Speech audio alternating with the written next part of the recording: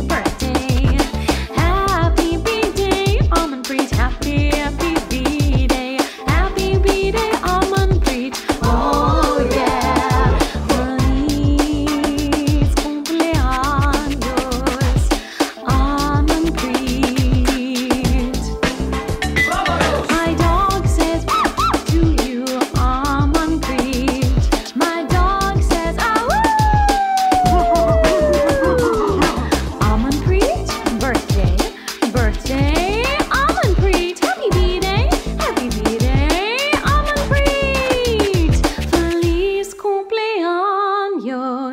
Harmanpreet, yeah.